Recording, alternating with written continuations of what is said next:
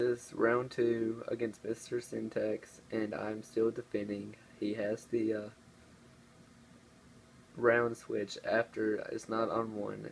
It's round switch should be on every other round, and it's not. I'm not sure if he knows this, but this re this does lead to a forfeit. And as you can see right here, Mr. Syntax, and I'm losing 0-1. In the first round, you can see I am defending, but uh, this is forfeit for third map. I should receive the win.